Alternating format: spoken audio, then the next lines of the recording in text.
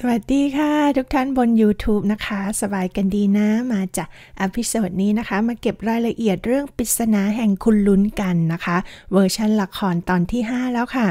ติ้งอินชีนะคะพระเอกนะคะ แสดงโดยชิวขายค่ะ ก็มาหาชูเฟิงลินตามที่เธอนัดเอาไว้ เธอก็ถามเรื่องการเรียนที่เขาเรียนจบมา แล้วก็เสนอตัวที่จะแนะนำแพทย์ แผนปัจจุบันที่เธอรู้จัก แต่ติงอินชีต้องการจัดการเรื่องอื่นๆ ให้เสร็จก่อน แล้วค่อยมาคิดเรื่องงาน พูดจบ ต่างคนก็ต่างเงียบ จนชูเฟิงหลินเริ่มพูดอีกครั้ง ติ้งอินชีบอกเธอว่าเขามีคำอีกมากมายภายในใจ ชูเฟิงหลินวางแก้วกาแฟลง เธอถามเขากลับไปว่าระหว่างเธอกับเขาจะพอเป็นเพื่อนกันได้ไหม ติงอินชีตอบแบบไม่ต้องคิดมากว่าไม่ ชูเฟิงหลินคิดว่าการที่เธอช่วยเขาไว้เมื่อคืน มันน่าจะทำให้ทั้งสองเป็นเพื่อนกันได้ แต่ติงอึนชีรู้สึกว่ามันมีอะไรที่ซับซ้อนกว่านั้น ชูเฟิงหลินยอมรับในความคิดของเขา เธอจะรอจนกว่าทั้งสองจะได้เป็นเพื่อนกันจริง ๆ แล้วถ้าเมื่อไหร่ที่เขามีคำถาม เธอก็จะตอบเขาทุกอย่าง และของที่เขาต้องการเธอก็จะให้ ชูเฟิงหลินส่งนามบัตรให้เขา พร้อมกับบอกเขาว่า พรุ่งนี้เธอมีงานที่โรงพยาบาล ถ้าเขาสนใจจะไปด้วยกันก็ให้โทรศัพท์ไปหาเธอ พูดจบทั้งสองก็แยกจากกัน ก่อนที่ติงอุ่นชีจะกลับ เขาเหลือบไปเห็นอูซวงที่นั่งกินมันเผาอยู่ข้างทาง ไม่ห่างจากหน้าร้านอาหารที่เขาเพิ่งจะออกมาเขาเดินไปหาอูซวง เธอส่งมันเผาให้เขาอันหนึ่ง เขารับมาอย่างเต็มใจ พร้อมกับถามเรื่องของอูซวง เธอบอกเขาว่าเธอถูกอาจารย์กักบริเวณ และเธอก็ถามเขากลับว่าเขาหนีออกมาได้ยังไง ติงอุนชีบอกเธอว่า ชูเฟิงหลินเป็นคนช่วยเขาออกมา และทั้งสองก็กินมันเผาด้วยกันอย่างอร็ดอร่อย พันสายตาของอูซวงก็เห็นนามบัตรติงอุนชีบอกเธอว่ามันคือเบอร์โทรศัพท์ อูซวงไม่รู้จักโทรศัพท์ ติงวินชีเลยบอกเธอว่าวันหลังเขาจะพาเธอไปดู ระหว่างทางที่ทั้งสองเดินกลับ อูซวงมองกลุ่มนักเรียนที่เดินสวนไปมาอย่างประหลาดใจ ติงอุนชีบอกเธอว่า นั่นคือนักเรียนที่เรียนในโรงเรียน ในมือทุกคนถือไวโอลิน มันเป็นเครื่องดนตรีตะวันตกอย่างหนึ่ง อูซวงแปลกใจที่เขานั้นรู้ไปหมด ติงวินชีเลยบอกกับอูซวงว่าถ้าเธออยู่ที่เซี่ยงไฮ้อีกหนึ่งปี เธอก็จะรู้ไปหมดทุกอย่างเหมือนเขา อูซวงบอกกับเขาว่าสกุลฟาซิลไม่คุยเรื่องพวกนี้ เรื่องที่คุยกันก็พวกอาวุธสำนักและปลูกผัก รวมทั้งเรื่องธุรกิจอีกมากมายของอาจารย์ของเธอด้วย แต่เธอนั้นไม่สนใจธุรกิจติงอินชีถามว่าทุกคนในสำนักล้วนเป็นเด็กกำพร้าทั้งหมดเลยไหม อูซวงรีบตอบว่าใช่ แต่เธอก็เพิ่งรู้ว่าในโลกนี้ยังมีสถานที่ที่เรียกว่าบ้าน อย่างบ้านของติงอุนชีที่เธอเคยไปพักมาเมื่อตอนเด็กๆอยู่ด้วย ตอนที่อูซวงไปพักที่บ้านเขานั้น ตอนนั้นแม่ของเขาก็ไม่อยู่แล้ว และเขาเองก็ไม่คิดว่ามันเป็นบ้านด้วยซ้ำแต่อูซวงคิดว่าที่นั่นมีความเป็นอิสระ อบอุ่นไม่ต้องกลัวทำผิด และยังมีพ่อที่คอยให้ความอบอุ่นด้วย เธอรู้สึกว่ามันดีจะตายไป ตอนนั้นเธอเองยังไม่อยากกลับจากบ้านของติงอุนชีด้วยซ้ำพูดจบอูซวงก็พาเขาเดินเข้าซอยนั้นออกตรอกนี้ เดินเล่นไปเรื่อยๆ ระหว่างที่ทั้งสองเดินเล่นกันนั้น ก็มีชายกลุ่มหนึ่งที่คอยส่งข่าวให้กันอยู่ตลอด ข่าวนั้นถูกส่งมาให้กับชายคนหนึ่งที่โรงน้ำชา เขาคอยฟังความเคลื่อนไหวว่า ทั้งสองเดินไปที่ไหนบ้าง จนกระทั่งชายคนนั้นบอกกับลูกน้องที่มาคอยรายงานว่า ให้ทุกคนล้มเลิกแผนการไม่ต้องตามแล้ว ชายคนนั้นรินน้ำชาทั้งหมดสามแก้วแล้วก็เฝ้ารอ ไม่นานอูซวงกับติงอุนชีก็ขึ้นมาที่โรงน้ำชา เธอมาหาชายคนนั้นที่โต๊ะ ชายคนนั้นก็คือเจียงฐาน ที่ได้รับคำสั่งจากอาจารย์ ให้มาคอยช่วยอูซวงในช่วงเวลาที่สำคัญ และตอนนี้ติงอุนชีก็ปลอดภัยแล้ว เขาจะกลับไปรายงานอาจารย์ แต่อูซวงบอกให้เจียงฐานบอกกับอาจารย์ว่า เธออยากเอากระดูกมังกรกลับมาก่อน แล้วเธอจะกลับไปรับโทษแต่โดยดี เจียงฐานแปลกใจว่าเธอจะกลับไปที่ไหน อูอูซวงก็แปลกใจที่เขาถามแบบนั้น เธอบอกว่าจะกลับไปสำนักเจียงฐานยิ่งไม่เข้าใจใหญ่ เพราะเขารู้ว่าอูซวงและติงวินชีมั่นกันแล้ว การที่อูซวงจะออกมาอยู่กับติงวินชีก็เป็นเรื่องปกติแล้ว เธอจะกลับไปสำนักทำไม ติงวินชีได้ยินแบบนั้นเขาก็ถามซ้ำอีกครั้ง อูซวงกระซิบให้เจียงฐานหยุดพูดเรื่องนี้ เจียงฐานเลยพูดขึ้นไปอีกว่า ที่ผ่านมาที่อูซวงและติงวินชีไปไหนมาไหนด้วยกัน ลูกศิษย์คนอื่นๆจะคิดยังไง และทุกคนก็รู้แล้วว่าติงวินชีจะแต่งงานกับอูซวง ติงวินชีเริ่มอึดอัด เขาเลยตัดสินใจจะไปพูดกับโจชิวไห่ให้รู้เรื่อง ติงวินชีมาอย่างขังไทอี เพื่อจะพูดเรื่องแต่งงาน อูซวงกับเจียงฐานเดินตามมาติดๆ แต่ทั้งสองไม่กล้าเข้าไปในห้องโถง ได้แต่ยืนแอบฟังทั้งสองคุยกันที่หน้าประตู โจชิวไห่แปลกใจที่ติงอินชีถูกปล่อยตัวออกมา เขาบอกว่าคนในครอบครัวของลั่วอินซงเป็นคนช่วยเขา โจชิวห่ยิ่งฟังแล้วก็ยิ่งงง ติงอินชีก็เลยเข้าเรื่อง เขาต้องการมาคุย วันนี้เรื่องแต่งงานของอูซวงโจชิวไห่เลยถามถึงกระดูกมังกร แต่ติงอินชีบอกโจชิวไห่ว่า เขายังไม่ได้มันกลับมา เรื่องที่เทียนกว่านใช้กระดูกมังกรเป็นของมันนั้น เขาไม่รู้เรื่องมาก่อน และครั้งนี้น่าจะเป็นเรื่องเข้าใจผิด ติงอินชีเลยอยากจะมาอธิบายให้เข้าใจ การแต่งงานสำหรับเขาเป็นเรื่องที่จริงจัง โจชิวไห่ก็รู้ แต่เมื่อติงอินชีพูดแบบนี้เขาก็เข้าใจว่าติงอินชีมีการมั่นหมายกับใครที่ต่างประเทศไปแล้ว แต่ติงอินชียังคงปฏิเสธเช่นเดิม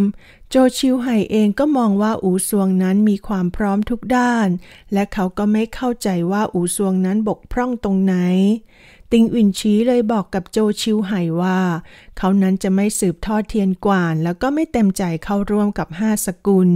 โจชิวไห่ย้ำเรื่องที่พ่อของเขาทำความผิด และนั่นทำให้เขาไม่สามารถอยู่ร่วมกับห้าสกุลได้ และเพื่อเกียรติของสกุลติง ติงวินชีต้องเป็นผู้สืบทอดและรับภาระหน้าที่ของห้าสกุล ติงอินชีพูดให้โจชิวไห่ไตรตรองดู เพราะโจชิวไห่และพ่อของเขาก็ไปมาหาสู่กันหลายปี คนอย่างติงหยวนซานจะทำเรื่องแบบนั้นได้หรือ แต่โจชิวไห่บอกกับติงอื่นชีว่า เวลานั้นเปลี่ยนจิตใจคนได้ แต่ถึงยังไงติงอื่นชีก็ยังเชื่อมั่นว่า ไม่มีใครที่จะซื่อสัตย์ต่อห้าสกุลได้เท่าพ่อของเขาอีกแล้ว โจชิวไห่เลยหันมาถามกลับเรื่องที่เขาคุณลุ้น ติงอื่นชีจะอธิบายยังไง โจชิวไห่ย้ำว่าคุณลุ้นเป็นรากฐานของห้าสกุล ไม่ใช่สมบัติของสกุลติง ติงหยวนซานไม่มีสิทธิ์จะยกให้คนอื่น ยังไงติงอินชีก็ยังยืนยันว่า จะต้องฟังจากปากของติงหยวนซานก่อน โจชิวไห่ยังบอกกับเขาอีกว่า ห้าสกุลมีประวัติยาวนานมาเป็นพันปี แต่ทั้งหมดจะมาพังในรุ่นของเขาไม่ได้ แต่ติงอินชียอมให้มันพังในมือของเขาห้าสกุลมีกฎระเบียบที่ยุ่งเหยิง มันไม่คุ้มที่จะไปต่อ และเขาก็ต้องการล้มห้าสกุล ในยุคสมัยนี้ไม่มีความจำเป็นที่จะมีห้าสกุลอีกต่อไป โจชิวไห่โกรธติงอินฉีมาก เขาพยายามสะกดอารมณ์ของตัวเองอย่างถึงที่สุด โจชิวไห่ยื่นข้อเสนอสองข้อให้ติงอินชี ถ้าเขาจะรับสืบทอดเทียนกวานต่อไป คือหนึ่งจะช่วยเอากระดูกมังกรและจะช่วยพาพ่อของเขามาให้เจอให้ได้สองเมื่อหาพ่อของเขาเจอแล้วจะไม่ฆ่า แต่จะขังไว้ที่ฟาซิลตลอดชีวิต แต่ติ้งอินชียังยืนยันคำเดิมที่จะไม่สืบทอดเทียนกวาน โจชิวไห่จึงต้องการให้ติ้งอินชีส่งมอบคาถาพญามังกร และกระดูกมังกรมาให้เขา เพราะนั่นเป็นของห้าสกุลไม่ใช่ของสกุลติงติ้งอินชียืนยันว่า ของทั้งหมดนั้นเป็นของพ่อเขา และก่อนที่จะหาพ่อเขานั้นเจอ เขาก็จะเป็นคนดูแลทั้งหมดนั้นไว้ก่อน อูซวงและเจียงฐานที่แอบฟังอยู่ด้านนอก เห็นท่าไม่ดี เลยรีบแยกย้ายกันไปคนละทาง ตอนนี้โจชิวไฮโกรธเขาจริง ๆ ทั้งปฏิเสธการแต่งงาน ทั้งไม่ยอมสืบทอดเทียนกวาน และยังไม่มอบของที่เป็นของห้าสกุลอีก เขากระแทกถ้วยชาแตก และทันทีที่เกิดเสียงดัง ลูกศิษย์ที่อยู่ด้านนอกก็กรูกันเข้ามาในห้องโถงทันที ข่าวนี้ติงอุนชีท้าทายกับโจชิวไห่ถ้าคราวนี้เขาเอาชนะค่ายกลนี้ได้ โจชิวไห่จะยอมล้มห้าสกุลไหมถึงยังไงโจชิวไห่ก็ไม่ยอมล้มห้าสกุลเช่นกัน ติงอุนชีบอกกับโจชิวไห่ว่าตั้งแต่เขากลับมาถึงเซี่ยงไฮ้ก็มีแต่การต่อสู้ เขาเริ่มเหนื่อยแล้ว ติงอินชียังบอกกับโจชิวไห่ต่อไปว่า โจชิวไห่ต้องการหาพ่อของเขาเพื่อฆ่า แต่เขาหาพ่อเพื่อล้างโทษและคืนความบริสุทธิ์ และเขาก็ไม่ต้องการความช่วยเหลือจากใคร พูดจบ ติงอินชีก็ออกมาจากคลังไทอีทันที ติงอุนชีกลับมาถึงหอนาฬิกาก็พอดีกับที่อูซวงกำลังทำกับข้าวอยู่ อูซวงบ่นที่ซานจินไม่อยู่ ติงอุนชีบอกกับเธอว่าเขาให้สู่ซานเฉียนไปส่งซานจินที่เมืองอื่นแล้วเพราะลัวอินซ่งบอกว่าติงหยวนซานฆ่าคนในครอบครัวเขาไปสามคน เขาต้องการฆ่าทุกคนในครอบครัวของติงอุนชีเขาเลยกลัวว่าลัวอินซ่งจะเหมารวมซานจินไปด้วย อูสวงฟังแล้วยังไม่เชื่อเลยว่าติงหยวนซานจะฆ่าคน แล้วติงอุนฉีก็นึกขึ้นได้ว่าอูซวงหนีกลับมาตอนไหน แต่อูซวงสนใจว่าระหว่างเขากับโจชิวไห่ใครชนะ ติงอุนชีเลยบอกว่าเขาเถียงชนะ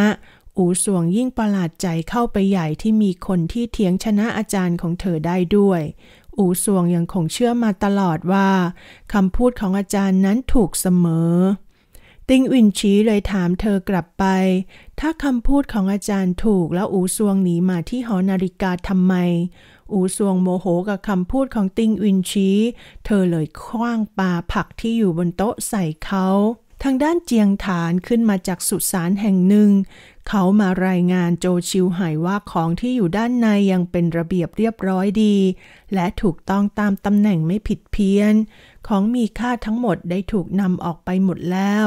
และเขายัางยื่นเทียนให้กับโจชิวไห่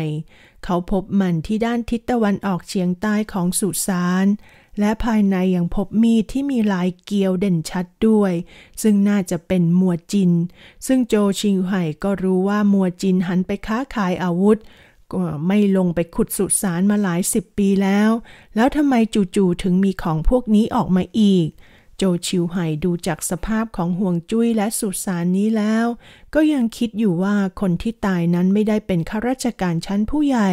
หรือสำคัญอะไร และยิ่งของมีค่าด้วยแล้วก็ยิ่งน่าจะไม่มี แล้วมัวจินจะเดินทางไกลมาถึงเซี่ยงไฮ้นี้เพื่ออะไร หงซานเหมยคิดว่าน่าจะเอาเรื่องนี้ ไปบอกกับรวดวินซงเพื่อจะได้ช่วยฮาวาชิงเฉิน และลูกน้องที่ถูกจับไป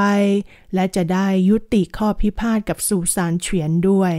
โจชิวไห่รู้ว่านี่ไม่ใช่ฝีมือของสูซานเฉียนแน่นอน แล้วจะโยนความผิดไปให้สูซานเฉียนได้ยังไง เขาสั่งสอนหงซานเหมยอีกด้วย เป็นคนจะลืมรากเงาของตัวเองไม่ได้ อย่าเห็นแก่ความแค้นส่วนตัวจนลืมคุณธรรม ทางด้านอูซวงที่ทำกับข้าวเสร็จแล้ว ขยันขยอให้ติงอินชีมานั่งกินด้วยกัน เพราะนี่คือการทำกับข้าวครั้งแรกของเธอ ติงวินชีขัดไม่ได้เลยกินเข้าไปหลายคำแต่ไม่นานเขารู้สึกไม่สบายตัวและปวดท้องอย่างหนัก อูซวงตกใจรีบหายามาให้เขากินทันที เธอเข้าใจว่าเพราะอาหารที่เธอทำอร่อย และเขาก็กินเยอะเกินไปจนปวดท้อง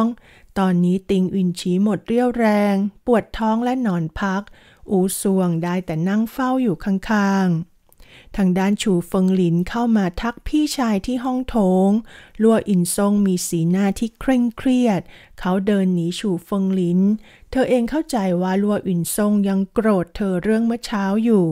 ลัวอินซงยังไม่ยอมหันไปเจอหน้าน้องสาว แต่เขาถามหาจดหมายแต่งตั้งที่ชูเฟิงหลินเพิ่งได้รับมาจากคุณหญิง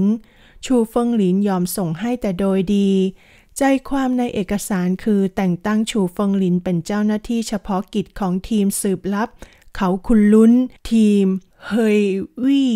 เป็นสมาชิกร่วมปฏิบัติการในทีมสืบ ให้เจ้าหน้าที่ทุกระดับให้ความร่วมมือ เมื่อเกิดความจำเป็นจะสามารถเคลื่อนกองกำลังสำรองได้ ลัวอินซงปิดเอกสารด้วยความไม่พอใจ เขาหันไปพูดประชดน้องสาว เพราะจดหมายฉบับนี้ทำให้เธออยู่เหนือลั่วอินซงตอนนี้เขารู้แล้วว่าทำไมเมื่อเช้า เธอถึงไม่ยอมไปฝรั่งเศส ชูเฟิงหลินบอกพี่ชาย ในเมื่อทั้งสองมีเป้าหมายเดียวกัน มาร่วมมือกันดีกว่าลัวอินซงถอนหายใจและบอกกับเธอ เป้าหมายของทั้งสองคนนั้นไม่เหมือนกัน เป้าหมายของชูเฟิงหลินคือเขาคุณลุ้น และเป้าหมายของเขาคือติงหยวนซานชูเฟิงหลินมองยังไงก็เป้าหมายเดียวกัน พอต้องหาติงหยวนซานก่อนแล้วค่อยไปเขาคุนหลุนแต่ลัวอินซงแย้ง เพราะเจ้าหน้าที่เฉพาะกิจต้องมาสืบเรื่องเขาคุนหลุนเป็นพิเศษ และทีมเฮยวี่ชูเฟิงหลินต้องเป็นคนดูแลทั้งหมด เป้าหมายมันก็ต่างกันแล้ว ชูเฟิงหลินคิดว่าการส่งทีมเฮยวี่เข้าไปนั้นมันเป็นเรื่องที่ถูกกฎหมายแล้ว และคุณหญิงก็ยังจะให้อาวุธที่ล้ำสมัยที่สุดให้ด้วย กองกำลังนี้จริง ๆ แล้วเธอก็ไม่ได้อยากได้ แต่ตอนนี้มันก็ยังเป็นกองกำลังของลัวอินซ่งด้วยลัวอินซ่งเลยเอาจดหมายที่เพิ่งได้รับมาให้ชูเฟิงหลินอ่าน มันเป็นจดหมายเตือนจากคุณผู้หญิง เรื่องเขาคุนหลุนเป็นสมบัติของประเทศชาติ และยังบอกอีกว่าคุณผู้หญิงมอบหมายให้ชูเฟิงหลินเป็นคนจัดการ พร้อมทั้งมอบทีมเหยวี่ให้เธอดูแลชั่วข่าวด้วยลัวอินซงถอนหายใจอีกครั้ง เขาพูดกับน้องสาวด้วยน้ำเสียงที่อ่อนโยน เขาไม่อยากให้เธอก้าวเข้ามาสู่เส้นทางการเมือง แต่ชูเฟิงลินกลับบอกว่าเธอชอบ และยังมานั่งใกล้ๆพี่ชาย พร้อมกับคำพูดอ้อนพี่ชายให้หายโกรธ ทางด้านซานจินกลับมาในคืนนั้น เขารีบเข้ามาที่หอนาฬิกา แต่เขาไม่รู้ตัวเลยว่ารอบๆหอนาฬิกา มีกลุ่มคนที่แฝงตัวและมองดูทุกการเคลื่อนไหวภายในหอนาฬิกาแห่งนี้อยู่เขาเข้ามาถึง ก็เห็นว่าลูก ติงอินชีกำลังป่วยอยู่ อูซวงบอกเขาว่าติงอินชีกินอาหารเยอะเลยปวดท้อง แต่ซานจินเอะใจเลยไปดูที่โต๊ะกินข้าว ซานจินโมโหและบอกกับเธอว่าติงอึนชีแพ้เห็ด เขาโกรธมากจนผลักอูซวงออกไปจากห้อง ซานจินออกไปเอาน้ำดื่มข้างนอก อูซวงเลยช่วยโอกาสเข้ามาดูติงอึนชี ซานจินเห็นเขาก็ไล่อูสวงให้กลับไป จากนั้นซานจินหยิบช็อกมาขีดเป็นเส้นแบ่งเขต ไม่ให้อูสวงเข้ามาภายในครัวของเขาอีก อูสวงรับคำว่าจะยอมทำตามที่ซานจินบอกติงอึนฉีที่กำลังนอนป่วยอยู่เขาฝันเห็นแม่ที่กำลังถูกลอยแพจากเขาไป เมื่อตอนที่เขายังเด็ก เขาร้องเรียกหาแม่ และคว้าเอามือของอูซวงที่รีบเข้ามาดูเขา ติงวินชีลืมตาตื่นขึ้นมาก็เห็นซานจินที่นั่งเฝ้าเขาอยู่ข้างๆ ติงวินชีอาการดีขึ้นแล้ว ซานจินเลยหาของให้เขากินเพื่อบำรุงกำลัง อูซวงที่เห็นหวีเล็ก ที่เธอเคยให้ไปตอนที่เจอกันครั้งแรกอยู่ที่คอของติงอินชี เธอเลยแกล้งทวงเขา แต่เขากลับไม่ให้ และยังบอกอีกว่านั่นเป็นของของเขา ที่บ้านสกุลลัวลัวจิวเทียนกำลังหากระดูกมังกรในห้องทำงานของลัววินซงเขาหาตามตู้ใส่ของ ชั้นหนังสือ หรือแม้แต่ในแจกัน แต่ล้วงไปล้วงมา มือดันเข้าไปติดอยู่และเอาไม่ออก ระหว่างที่เขาพยายามจะเอามือออกจากแจกันนั้น เขาก็ได้ยินเสียงใครบางคน คนที่กำลังจะเข้ามาในห้องนี้ เขาเลยต้องหาที่ซ่อนตัวก่อน ผู้ที่เข้ามาในห้องคือชูเฟิงลินและน้าเฮย ทั้งสองก็มาหากระดูกมังกรด้วยเช่นกัน ระหว่างที่ทั้งสองหากระดูกมังกรตามที่ต่างๆ อยู่นั้น ชูเฟิงลินก็ต้องตกใจที่เห็นก้นของใครบางคนโผล่ออกมาจากใต้โต๊ะรัวจิวเทียนค่อยๆ คานออกมา พร้อมกับแจกันที่ยังเอาไม่ออก ต่างคนต่างก็ถามว่ามาหาอะไร แต่ทั้งคู่ก็ไม่ยอมบอกกัน แต่ชูเฟิงหลินมีความลับของเขาอยู่ในมือคือเรื่องสุสานโบราณราชวงศ์ชิงที่เขาไปก่อเรื่องเอาไว้ ถ้าลัวอินซงรู้เข้า ต้องเป็นเรื่องแน่ลัวจิวเทียนตกใจที่มีคนรู้เรื่องนี้ด้วย ก่อนที่เขาจะออกไปจากห้อง เขาก็เอามือออกจากแจกันได้พอดี เขาเลยส่งแจกันให้กับชูเฟิงหลินและรีบออกไป ชูเฟิงหลินบอกนะเฮยว่าไม่ต้องหาแล้ว เพราะ ถ้าลวดจิวเทียนหาแล้วไม่เจอ แสดงว่าในห้องนี้ก็คงไม่มี ทางด้านเปียวจื่อนำตัวฮวาชิงเชิงและลูกน้องอีกคน มาส่งคืนให้กับโจชิวไห่ เขาบอกว่าสอบสวนแล้วไม่ได้มีความเกี่ยวข้องกับคดีฉิงมูโจชิวไห่ตำหนิที่พวกของลวดวินซ่งทำอะไรง่ายๆแบบนี้ และยังไม่มีคำอธิบายอีก เปียวจื่อบอกเขามีหน้าที่จับกลุ่มตัว ปล่อยไปบางบ้างแค่บางคน แต่ที่ส่งตัวกลับมาครั้งนี้ก็เป็นครั้งแรก ถ้าอยากจะได้คำอธิบายก็ให้ไปถามกับรั่วอินซ่งเอง เมื่อเปียวจือกลับไปแล้ว โจชิวไห่ก็เข้ามาปลอบใจลูกศิษย์ทั้งสอง และยังโทษตัวเองที่ปกป้องลูกศิษย์ได้ไม่ดีพอ ทางด้านติงอินชีที่ตอนนี้มานึกไตรตรองเรื่องต่างๆ เขาทำทุกวิธีทางที่จะหาตัวพ่อ แต่มันก็ไร้ผล และดูเหมือนว่ามันจะยิ่งยากขึ้นไปอีก และยังกระดูกมังกรที่ตกไปอยู่ในมือของลวดอินซ่งอีก อูซวงนึกขึ้นมาได้เลยถามเขาเรื่องชายสวมหน้ากากที่ไปช่วยชีวิตเขาเมื่อครั้งแรกที่เจอกัน ติงอินชีเองก็บอกว่าเขาก็ไม่รู้ว่าเขาคือใคร อูซวงยังสงสัยอีกเรื่องที่ชูฟงหลินมาช่วยติงอินชีช่วยชีวิตเขาไว้แต่ทำไมไม่คืนกระดูกมังกร ติงอินชีก็ไม่เข้าใจเช่นเดียวกัน จบแล้วนะคะสำหรับตอนที่ 5 ค่ะ ปริศนาแห่งคุณลุ้นนะคะ ตอนนี้นะคะสำหรับเวอร์ชันละครเราก็ต้องมาลุ้นกันว่าคุณพ่ออยู่ไหนหน้าทุกคนกำลังหาคุณพ่ออยู่นะคะ ติงหยวนซานนั่นเองค่ะ เอาละค่ะ เดี๋ยวเรานะคะ ตามหาคุณพ่อกันต่อนะคะ ในปริศนาแห่งคุณรุ้นตอนที่ 6 ค่ะ กลับมาพบกับหวานได้ใหม่ในอพิโซดถัดไปนะคะ สวัสดีค่ะ